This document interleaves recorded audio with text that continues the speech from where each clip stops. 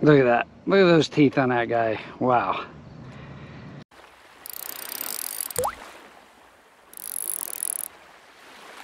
Hello again, my fellow fish-a-lots, and of course, welcome to another edition of Fishing with Johnny Fish-a-lot. The moral of today's story in today's video is just have fun catching fish. They don't always have to be monster fish. They don't have, they don't always have to be trophy fish. But it's always a good time to get out, enjoy the outdoors, enjoy a nice sunset, and just catch what whatever is available. So in this case, I got done work. I had about 30 minutes of daylight left. You're not allowed to fish on this pier after dark, by the way. So I just headed out, had a few minutes, and caught a few fish. New here, my name is John, and I'm the chief resident fish here at Fishing with Johnny Fish. My goal is to bring to you over 30 years of fishing experience Eight of those years were spent professionally fishing, where I had to fish every single day in order to make money so that you can learn much quicker than I did over those 30 years and you can catch more fish in less time, maximizing your time out on the water. I understand everybody these days is extremely busy with work, with family commitments, school, you name it. So, my overall goal is to help you enjoy your time out on the water. And stick around to the end of the video where I will show you a very interesting slam. All right, let's get into it. There you go, little snapper blue. There you go. And he'll be just fine as he swims off, slightly inconvenienced. All I'm doing is giving it a sharp pull and letting it flutter down. Sharp pull and letting it flutter down. Up here they are right here. Look at these, look at the bluefish right here. There they are, chasing it, chasing it.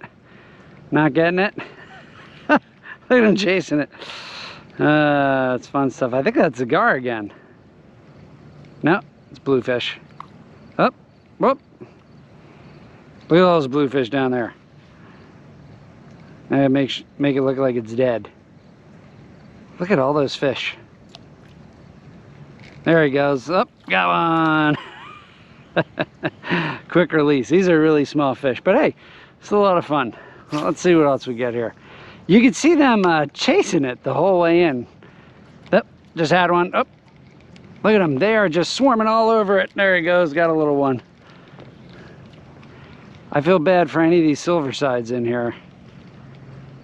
Look at there they are there.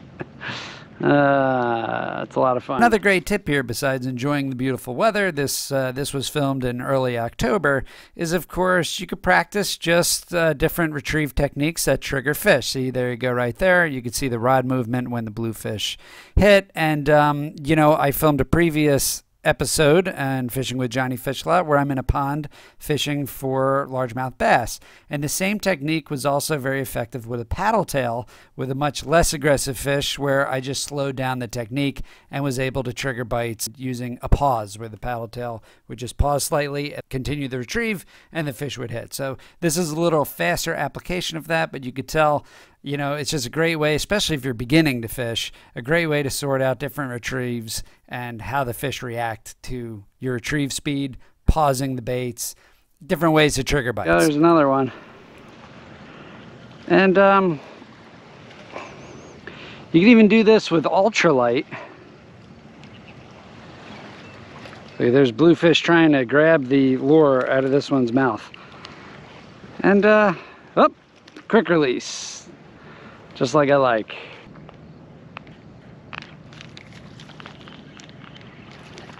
Oh, I got me the gar. There we go. Long nose gar. I don't even know how I got the hook. Now, this is a cool fish, if anybody hasn't seen one of these guys before. Look at that guy. They do bite. Look at that. Look at those teeth on that guy. Wow. Take a look at those chompers there. Oops. There you go. Take a look at those. What a cool fish. Look at those teeth. if you could see them. Oh yeah. They're just chomping up some fish down there. Oh, and there he goes. If we get another one. So quick tip here. So give a couple quick jerks And then all the fish are hitting on the way down, especially after you feel uh, a tick like a swirl behind it. I'll show you exactly what I mean here. So I'm in the water and I'm giving it uh, some tough jerks like that, right? And then I let it sink. A couple of quick jerks and I let it sink. Now, when you're going fast and then you see the swirls behind the lure, that's when I let it sink and that's when I've been getting most most of the actual hookups. There we go. There you go. There's another one. That's exactly what happened. I just let it sit. Picked up a little baby. This is a baby baby. My goodness. Okay, okay, all right, buddy. Hold on, hold on. I'll get you. I'll get you unhooked here. Whew. Boy, he grabbed every bit of that hook.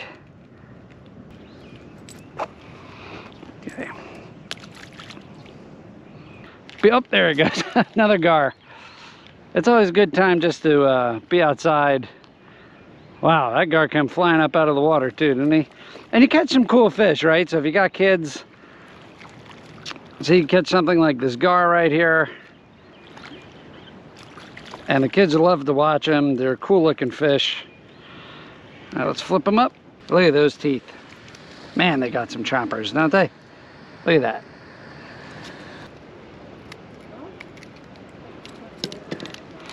And again, really cool fish. Look at those teeth. those teeth are just nasty. Cool fish. And off he goes. Oh, there's another one. Is that another gar? Might be. Uh, it's a bluefish. What is that? It's not a blue. Oh, little ladyfish. Variety of microfish. There we go. These are uh, super aggressive and cool fish. Again, look at that guy's teeth. Look, it's got him in my mouth. Oh, no, I was going to show him to you, but he flipped out of my hands. I always tend to keep the fish over the side when I'm trying to show them, just in case they do flip out of my hands, they end up flipping into the water. But look at this variety we're getting. You see, so you get 30 minutes of break, you get to come out, might as well fool around, grab some light gear, take the kids out, catch some gar, some bluefish, some lizard fish. I said ladyfish, that was actually a lizard fish. There's another one. All right, fish lots, that'll about do it for us today. Again, this was just a quick one, and I had a short amount of time after work to fish, and it's always a fun time to be out and enjoy Mother Nature and watch those fish do their thing. And also, it's important to know that sometimes you just need to fish for what's readily available. I mean, I couldn't tell you how many people were on this dock fishing for big striper and cobia and things like that, and th those fish just weren't going to be in town for another couple of weeks yet. So instead, you know, grab some gear. Uh, you could see fish hunting down some silver sides. We got nice little slam there. There's a lizardfish, a gar, some bluefish, a nice little unorthodox slam. And uh, thank you for tuning in. And if you got value out of this video, please hit that subscribe button and that notification bell so that when I post new content, you won't miss anything. I'll also put a list of the equipment I like to use for a variety of fishing that you see in my videos in the description below. And thank you for tuning in, and I'll see everyone out on the water.